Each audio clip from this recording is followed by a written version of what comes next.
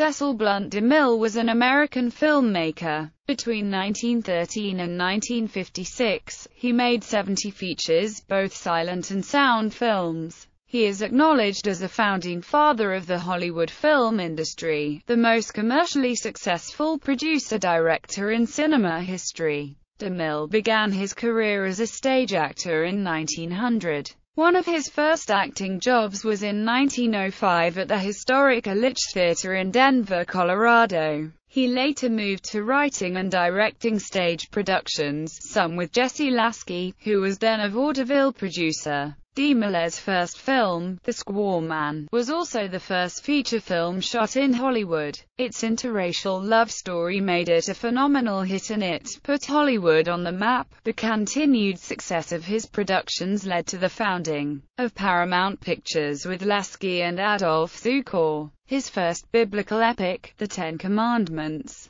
was both a critical and financial success. It held the Paramount revenue record for 25 years. The immense popularity of DeMille's silent films enabled him to branch out.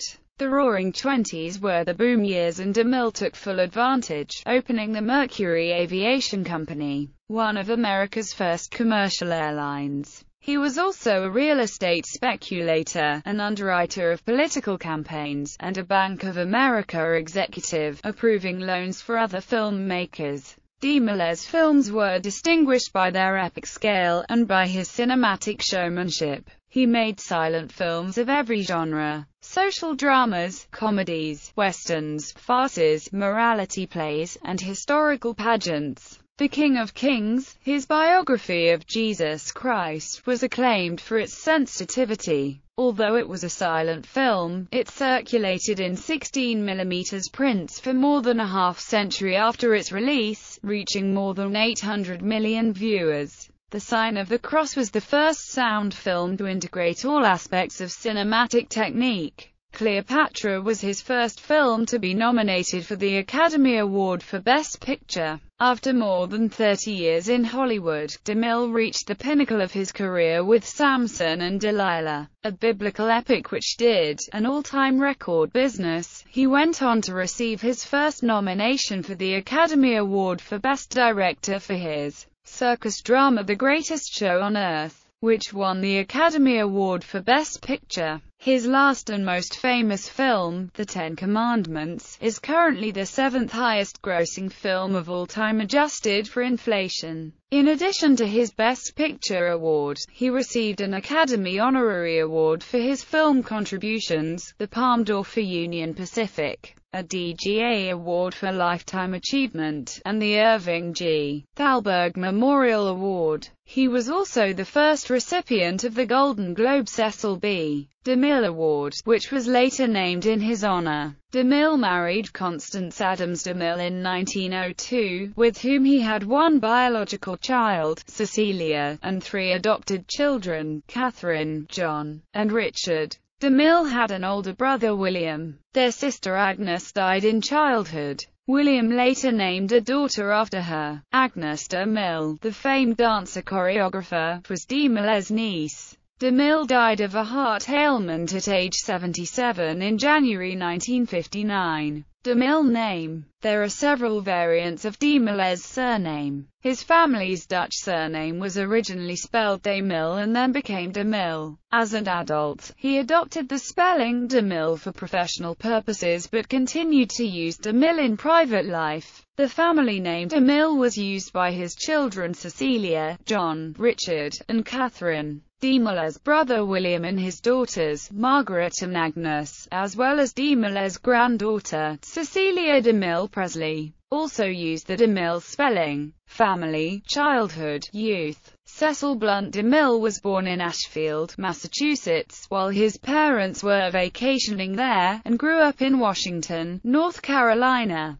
His father, Henry Churchill DeMille, was a North Carolina-born dramatist and lay reader in the Episcopal Church, who had earlier begun a career as a playwright, writing his first play at age 15. His mother was Matilda Beatrice DeMille, whose parents were both of German Jewish heritage. She emigrated from England with her parents in 1871 when she was 18, where they settled in Brooklyn. Beatrice grew up in a middle-class English household. De Mille's mother was related to British politician Herbert Lewis Samuel. De Mille's parents met as members of a music and literary society in New York. Henry was a tall, red-headed student. Beatrice was intelligent, educated, forthright, and strong-willed. They were both born in 1853 and both loved the theatre. When they married, Beatrice converted to Henry's faith. Henry worked as a playwright, administrator, and faculty member during the early years of the American Academy of Dramatic Arts.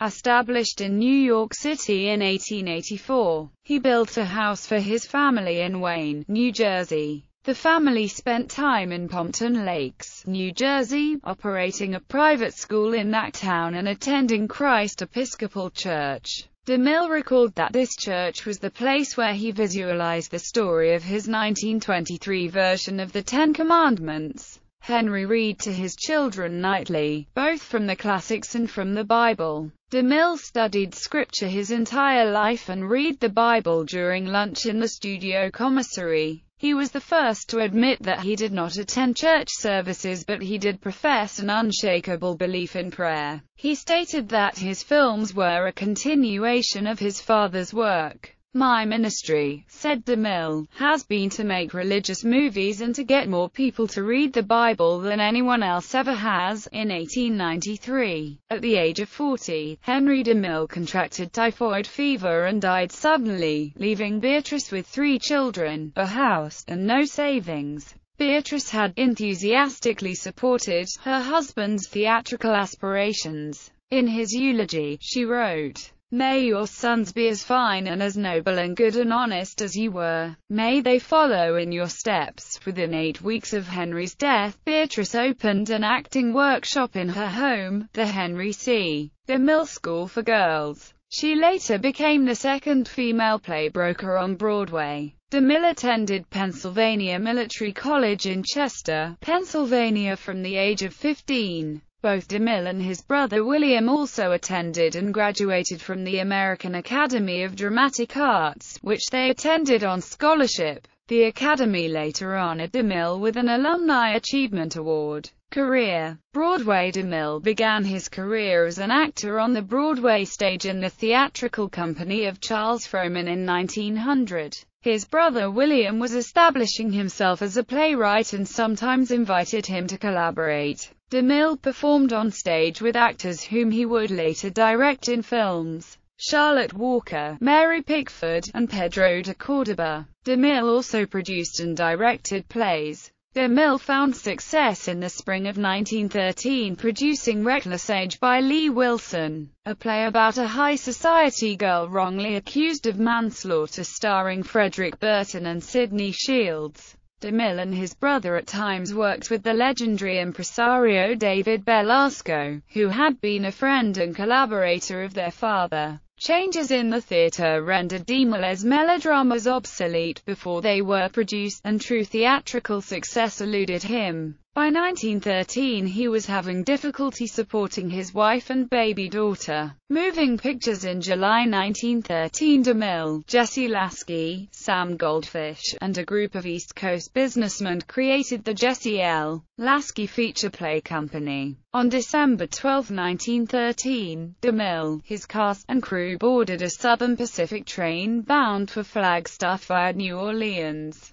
His tentative plan was to shoot a film in Arizona, but he disliked the quality of light he saw there. He continued to Los Angeles. Once there, he chose not to shoot in Edendale, where many studios were, but in Hollywood. He also flouted the dictum that a film should run 20 minutes. He made his first film run 60 minutes, as long as a short play. The Squaw Man, co-directed by Oscar Apfel, was a sensation and it established the Lasky Company. Silent era The first few years of the Lasky Company were spent in making films non-stop, literally writing the language of film. DeMille adapted Belasco's dramatic lighting techniques to film technology. Mimicking moonlight with Hollywood's first attempts at motivated lighting in the Warrens of Virginia after five years and 30 hit films. DeMille became Hollywood's most successful director. In the silent era, he was renowned for male and female manslaughter and The Godless Girl. DeMille's trademark scenes included bathtubs, lion attacks, and Roman orgies. A number of his films featured scenes in two-color Technicolor sound era when talking pictures were innovated in 1928. DeMille made a successful transition, offering his own innovations to the painful process. He devised a microphone boom and a soundproof camera blimp. He also popularized the camera crane. DeMille made stars of unknown actors, Gloria Swanson, Bebe Daniels, Rod La Rocque, William Boyd, Claudette Colbert, and Charlton Heston. He also cast established stars such as Gary Cooper, Robert Preston, Paulette Goddard and Fredric March in multiple pictures. DeMille displayed a loyalty to his performers, casting them repeatedly. They included Henry Wilcoxon, Julia Faye, Joseph Schildkraut, Ian Keith, Charles Bickford, Theodore Roberts, Akim Tamiroff and William Boyd. DeMille was credited by actor Edward G. Robinson with saving his career following his eclipse in the Hollywood blacklist. DeMille had a reputation for autocratic behavior on the set, singling out and berating extras who were not paying attention. A number of these displays were thought to be staged, however, an exercise in discipline. He despised actors who were unwilling to take physical risks, especially when he had first demonstrated that the required stunt would not harm him. This occurred with Victor Mature in Samson and Delilah. Mature refused to wrestle Jackie the Lion, even though DeMille had just tussled with the lion, proving that he was tame. DeMille told the actor that he was 100% yellow. Paulette Goddard's refusal to risk personal injury in a scene involving fire in Unconquered cost her DeMille's favor and a role in The Greatest Show on Earth. DeMille was adept at directing thousands of extras, and many of his pictures include spectacular set pieces. The toppling of the pagan temple in Samson and Delilah, train wrecks in The Road to Yesterday, Union Pacific and The Greatest Show on Earth, the destruction of an airship in Madam Satan, and the parting of the Red Sea in both versions of the Ten Commandments. DeMille first used three-strip Technicolor in Northwest Mounted Police. Audiences liked its highly saturated color, so DeMille made no further black and white features. Greatest Showman, DeMille was respected by his peers, yet his individual films were sometimes criticized. Directorially, I think his pictures were the most horrible things I've ever seen in my life, said director William Wellman but he put on pictures that made a fortune. In that respect, he was better than any of us, producer David O. Selznick wrote. There has appeared only one Cecil B. DeMille. He is one of the most extraordinarily able showmen of modern times. However much I may dislike some of his pictures, it would be very silly of me, as a producer of commercial motion pictures, to demean for an instant his unparalleled skill as a maker of mass entertainment. DeMille was one of the first directors to become a celebrity in his own right.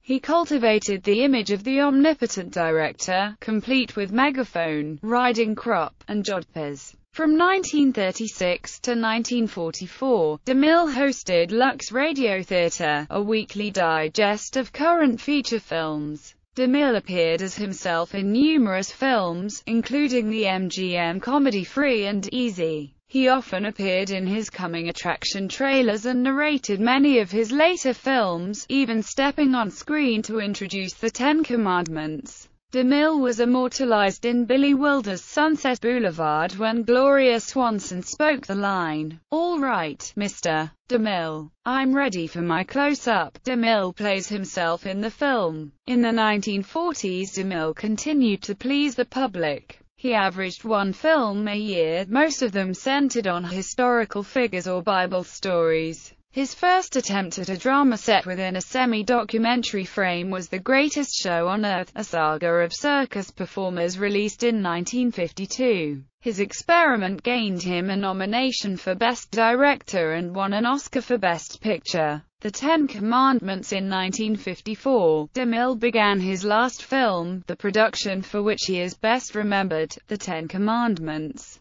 on November 7, 1954, while in Egypt filming the Exodus sequence for the Ten Commandments. DeMille climbed a 107-foot ladder to the top of the massive Per Ramesses set and suffered a serious heart attack. Ignoring his doctor's orders, DeMille was back directing the film within a week. Although DeMille completed the film, his health was diminished by several more heart attacks. This film would be his last unfulfilled projects because of his illness. DeMille asked his son-in-law, actor Anthony Quinn, to direct a remake of his 1938 film The Buccaneer. DeMille served as executive producer but could not improve Quinn's style of direction. Despite a cast led by Charlton Heston and Yul Brynner, the 1958 film, The Buccaneer was a disappointment. In the months prior to his death, DeMille was researching a film biography of Robert Baden-Powell, 1st Baron Baden-Powell, the founder of the Scout movement.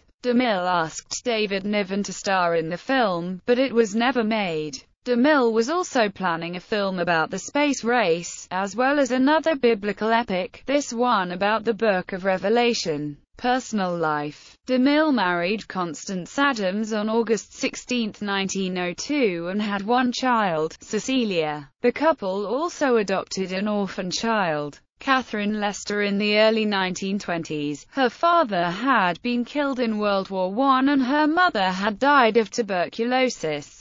Without DeMille's permission, Catherine became an actress at Paramount Pictures, ultimately gaining his approval. On October 3, 1937, Catherine married actor Anthony Quinn. In the 1920s the DeMilles adopted two sons, John and Richard, the latter of whom became a notable filmmaker, writer, and psychologist. Politics DeMille was a lifelong conservative Republican activist. He greatly admired Herbert Hoover. In 1944, he was the master of ceremonies at the massive rally organized by David O. Selznick in the Los Angeles Coliseum in support of the Dewey Bricker ticket as well as Governor Earl Warren of California, who would become Dewey's running mate in 1948, and later the Chief Justice of the United States. The gathering drew 93,000, with short speeches by Hedda Hopper and Walt Disney. Among those in attendance were Ann Sothern, Ginger Rogers, Randolph Scott,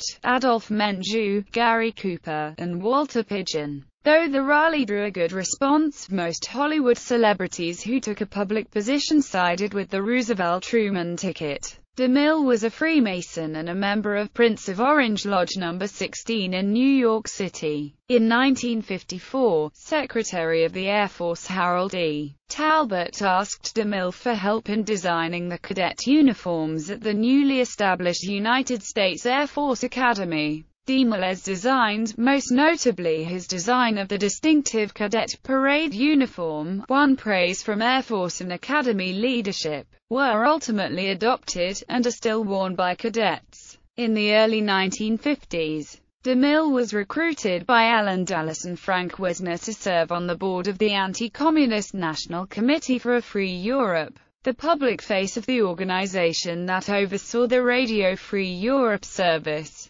race and religion. DeMille drew on his Jewish and Protestant heritage to convey a message of tolerance. The Crusades was the first film to show accord between Christians and Muslims. DeMille received more than a dozen awards from Jewish religious and cultural groups, including B'nai B'rith. In 1954 he was seeking approval for a lavish remake of his 1923 silent film The Ten Commandments. He went before the Paramount Board of Directors, which was mostly Jewish American. The members rejected his proposal, even though his last two films, Samson and Delilah and The Greatest Show on Earth, had been record-breaking hits. Adolph Zukor, the chairman of the board, rebuked the members, saying, We have just lived through a war where our people were systematically executed. Here we have a man who made a film praising the Jewish people, that tells of Samson, one of the legends of our scripture. Now he wants to make the life of Moses. We should get down on our knees to Cecil and say, thank you. DeMille did not have an exact budget proposal for the project,